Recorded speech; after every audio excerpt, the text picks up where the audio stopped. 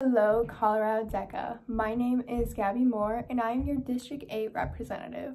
Today, I'm here to give some tips and tricks on how to ace your state officer interview. So, rule number one is that you have to be authentic. Make sure that you're showing your true personality and all the traits that come along with it.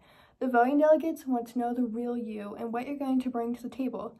So make sure you're answering every question honestly and don't be afraid to show your true self. Rule number two is to do mock interviews at whatever chance you can get. I did so many mock interviews in front of classes, in front of my parents, in front of literally everyone who would listen. And it was great to get that constructive criticism back and really work on that feedback so that when it came to the real thing, I was prepared. And rule number three is to take a deep breath before you answer every question. Just make sure that you're thinking it through and don't be nervous because the voting delegates just want to know who you are.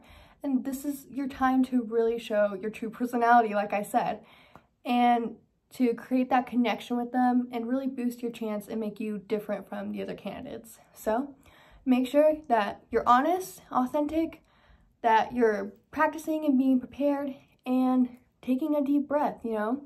Being an officer is so much fun and you get wonderful opportunities that you're to find nowhere else. So I wish you all the best of luck. We'll see you in February and go DECA!